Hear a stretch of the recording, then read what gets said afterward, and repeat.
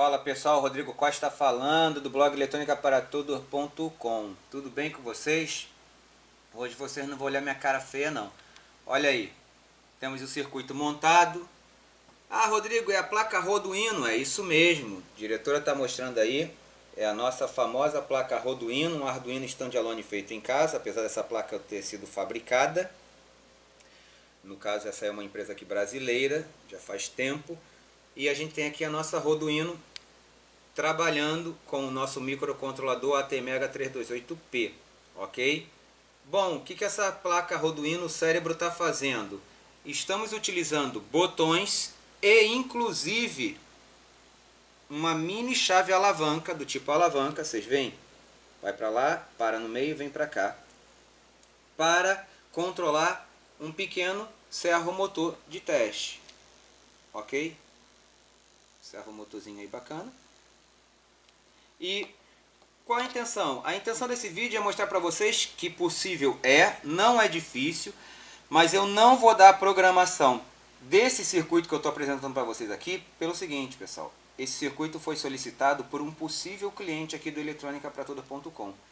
Mas, infelizmente, esse cliente desapareceu depois da gente mostrar umas partes do hardware para ele pronto, no caso aqui é um protótipo, e eu não sei se ele abandonou, se ele não, não quis mais, se ele não teve dinheiro e por aí vai, ou se ele se aproveitou das informações que eu passei, mas então eu não vou quebrar protocolo e dar o código desse sistema nesse vídeo para vocês, porque pode ser que esse rapaz porventura ainda apareça. Vamos dar um período aí de 90 dias. Então, o que eu queria mostrar para vocês é, tá vendo aqui os três botões? A gente fez uma programação que está lá no cérebro, né diretora? Está lá no microcontrolador. Cadê o pessoal? Quer ver o microcontrolador? Mostra lá para eles. Já gravamos um programa nesse microcontrolador que através desses servo, desses botões, pessoal, controlamos o, a direção a qual o nosso motor, o nosso servo motor gira. Pois bem, vamos fazer um teste aqui. Segurando o botão verde, giramos. Tá vendo? Tirou o dedo, volta para o meio, posição inicial. Ah, Rodrigo, e o botão do meio? Não faz nada, obviamente. Ah, Rodrigo, e o botão vermelho? Segurei, ele vai lá. Então, uma chave de toque, ó, momentânea. Ele, ele responde muito bem, ó. Tá aí, né, ó. O servomotor responde muito bem, 180 graus, 90 graus, de acordo com os botões. Mas Rodrigo, e no caso da chave alavanca? Essa é a principal intenção, porque isso aqui foi idealizado para funcionar num carrinho. Já dando a dica para vocês, um carrinho, por exemplo, segura para mim, diretor, esse servo.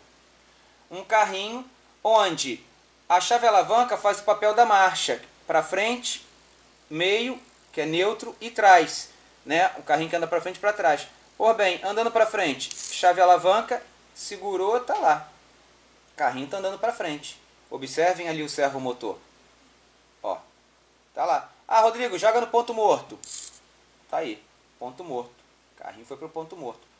E bota para trás.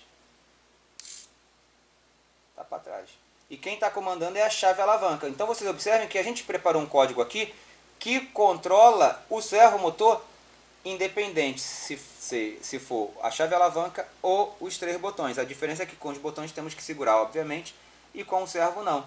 Mas por que os botões então, Rodrigo, parece meio maluquice? Não, porque carrinho de, um carrinho de protótipo, você pode ficar dando teco, teco, teco, teco nele, em vez de ficar segurando, como aqui.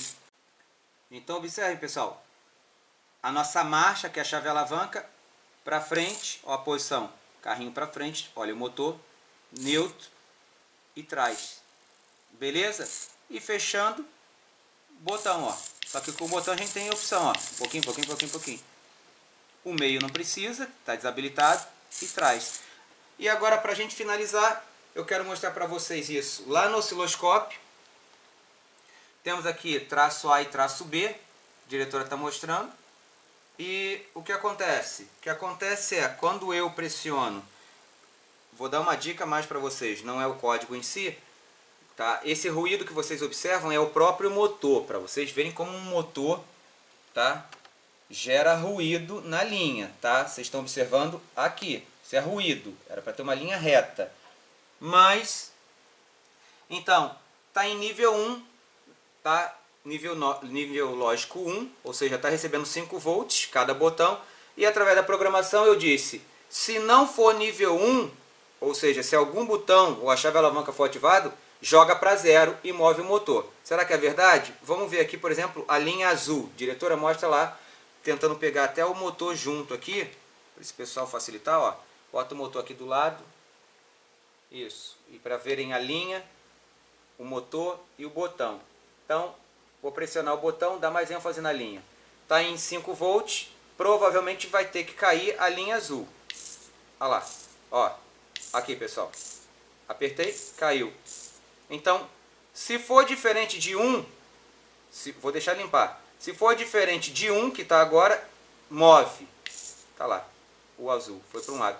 E o amarelo é o botão vermelho. Se for diferente de 1, é 0, move. Está lá. Bom, pessoal, é isso que eu queria mostrar para vocês.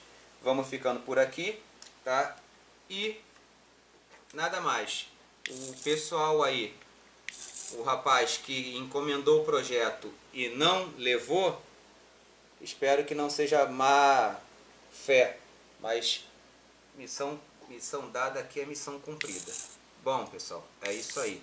Fiquem com Deus, um abraço. Esse é o projeto do protótipo controlando servo motor através de push button ou botões, chave de toque e chave alavanca. Fiquem com Deus. Tchau. Audio Jungle.